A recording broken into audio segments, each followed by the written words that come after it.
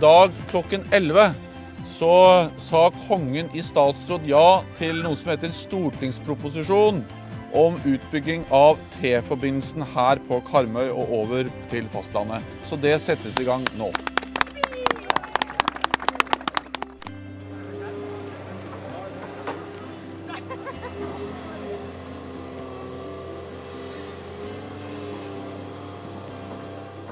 Dette er en fantastisk dag. Dette er en utrolig eh, positiv mulighet for regionen, og ikke minst for fylket vårt. Det er det største prosjektet. Så Sånn sett så var det igjen en fantastisk opplevelse å kjøre gravemaskin.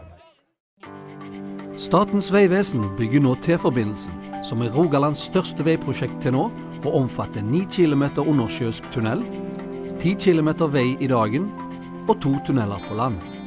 Totalt ca. 20 km med ny vei.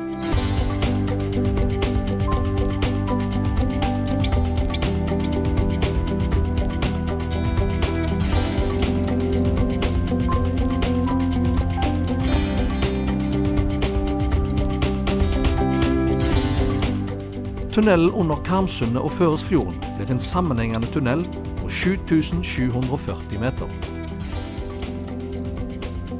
Den vil bestå av en tunnelarm på 3977 meter fra Håvik på Karmøy.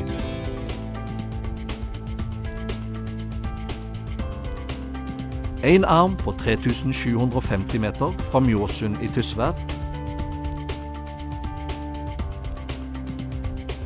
og en arm på 1164 meter fra Hellevik på Fosen.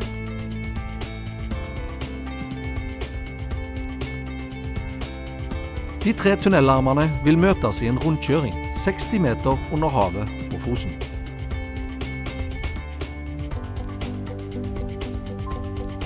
Tunnelen skal hete Karmøytunnelen og blir en av de lengste undersjøiske tunnelene i Europa. Kommer en ny vei i dagen mellom Fosen og Raglamyr. På denne strekningen blir det to tunneler. Husafjelltunnelen på 687 meter og Spannavarden på 260 meter. De første planene for T-forbindelsen går helt tilbake til 1987. Allerede da visste man at med en jevn årlig økning i trafikkmengden ville Karmøys fastlandsforbindelse over Karmsund bro snart bli overbelasta. I dag er trafikken over Karmsund bro på ca. 20 000 biler i døgnet.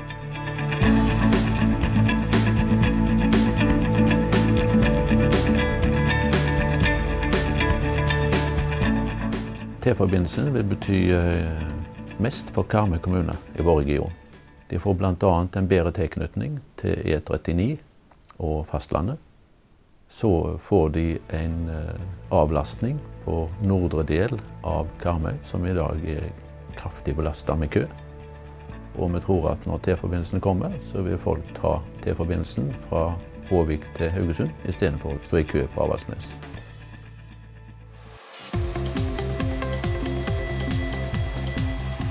Selve tunneldrivingen blir gjennomført ved at man først foretar sonderboring for å kontrollere fjellkvaliteten og for å se om det er vann i fjellet.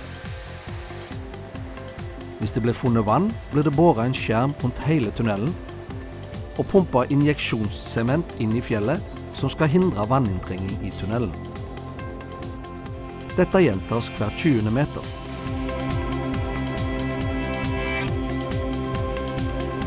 Så borer man salveboring før sprengstoffet pumpes inn.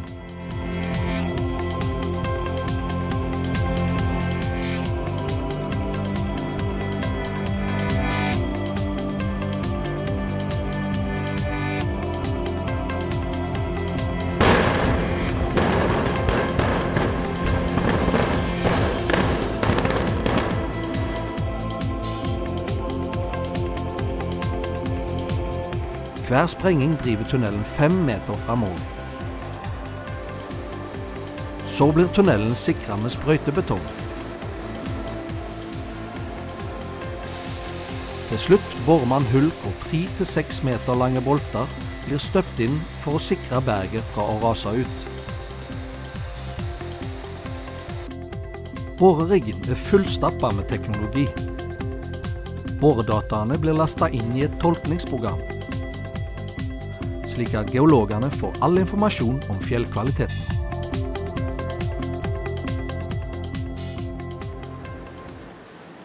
Det er enorme steinmasser som blir tatt ut av tunnelene. Disse vil bli brukt til mange forskjellige formål. Tunnelmassene som vi tar ut i tunnelen, det er totalt 850 000 faste kubikk. For å sette et perspektiv hvor mye det er, så er det det samme som ca. En fotballbane i 200 meters høyde. Så mye masser er det vi skal ta ut i tunnelen. De skal fordeles som ca. 170 000 skal det gå til Risøy bru fundament til fremtidig Risøy bru. Det skal gå en 120 000 til Dyrnesvågen. Ca. 25 000 til Bukken. Og så skal det en 100 150 000 til lagerområdet på Hydro. Og så skal vi bygge veien, bruke massene også til å bygge veien i dagen.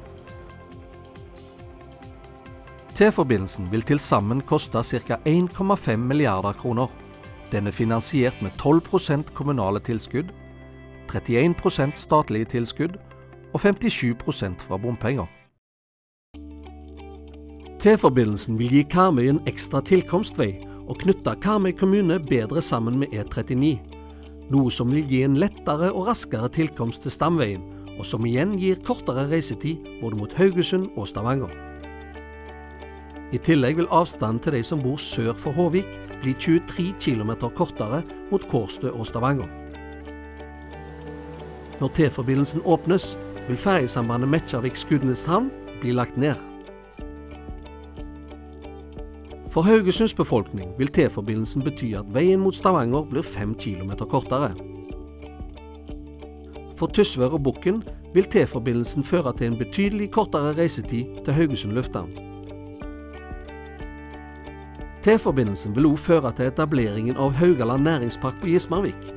Dette vil bli et industriområde på hele 5000 mål. Til sammen vil T-forbindelsen føre til at alle kommunene på Haugalandet blir knytta tettere sammen. T-forbindelsen vil bety eh, ganske mye for selve regionstenkningen. Vi har et samarbeid mellom kommunene, og det samarbeidet tror jeg blir tettere og tettere. Og da er avstandene her har voldsomt mye å si. En får mye bedre kommunikasjon mellom kommunene internt. En ser på aksen mellom Kårstø og Hydro. Det gjelder havn, det gjelder flyplass, det gjelder nye næringsområder på Gismarvik. Dette får stor betydning. Det aller viktigste med T-forbindelsen er at den bidrar til å knytte regionen vår enda tettere sammen. Slik at eh, vi får en eh, mer slagkraftig region. Og dette kommer til å bety mye for næringsliv og for næringsetableringer. Sett fra mitt ståsted så, så, vil dette utløse mange positive effekter på Haugalandet, men òg for logistikk og næringsutvikling i hele fylket vårt. fordi at nå er vi i ferd med å knytte brikkene nærme sammen. Og kroner på verket skal vi gjøre når Rogfast kommer. Da ser vi full verdi av dette prosjektet. T-forbindelsen skal stå ferdig våren 2013.